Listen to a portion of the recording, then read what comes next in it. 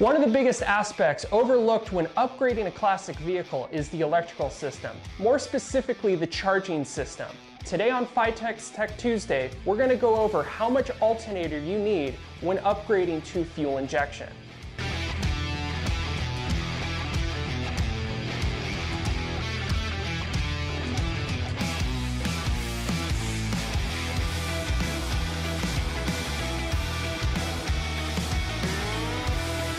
When it comes to installing EFI systems onto your vehicle, there's an amp draw load associated to it.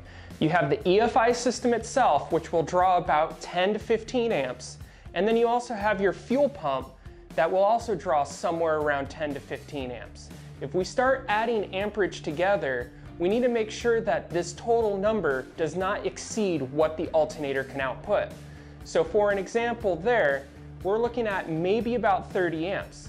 Now let's throw in an electric fan. Those are about another 30 or 40 amps, which takes us around to the 60 to 70 amp range with just an electric fan and an EFI system. If you're using a stock alternator that puts out 60 amps, we're already maxing out that alternator and it's not going to be able to run additional components. This is a major reason why to upgrade your charging system when adding additional electrical components into your classic vehicle. So let's look at some scenarios that will help you out in this application. We referred to an alternator company that gives us a quick reference guide that shows a bunch of amp draws from different electrical components in the vehicle, and this allows us to help select the proper alternator for application.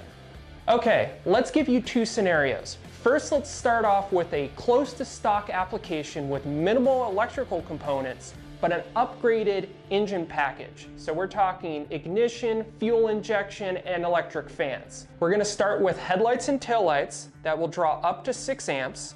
Your dash will draw up to four amps. Electric fans, about 40 amps. The radio in the car, stock radios are about 10 amps. An HEI ignition, about 12 amps.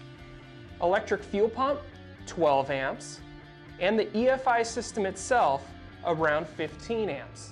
If we add all of this together, we're looking at about 99 amps of draw from the vehicle. So now that we know that the vehicle draws 99 amps, we want to select an alternator that can output more than that. I would always recommend going up a little bit past that because you never know what the next component you're going to put in the vehicle is. Now, let's go on to the big application. Let's just start adding a bunch of components on this super custom ride. Let's go from our stock application and start adding additional components. We have power windows and power seats. Both will draw about 20 amps. A stereo system will vary widely, but we're gonna select 100 amps. That's a pretty decent stereo system. An air ride suspension, that's an additional 50 amps. So now we're adding another 190 amps to the vehicle with a 99 amp draw already. That gives us 289 amps of draw off of our custom application. We need a much larger alternator to support this setup. Now that we have the alternator selected, we need to see how far we need to run the charge wire to get to the battery.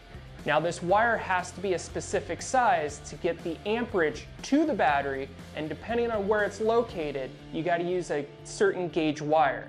Now that you know the size of the alternator you need and how far the charge wire needs to go to get to the battery, use this chart for a general idea of what gauge wire is required to run that distance. Failure to use a large enough alternator or charge wire will limit the amount of charging voltage you'll get to your electrical system. What does this do?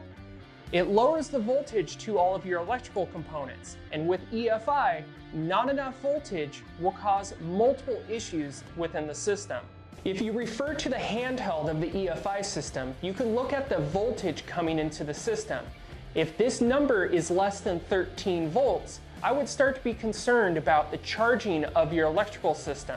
Two examples of an EFI system with low voltage is either a no start condition or even lazy injectors.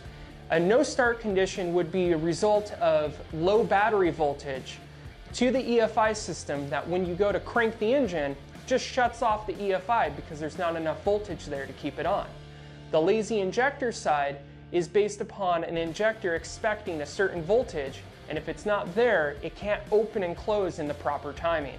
Now that you know how to properly size an alternator and charge wire, take it into account when you're adding your EFI system into the equation.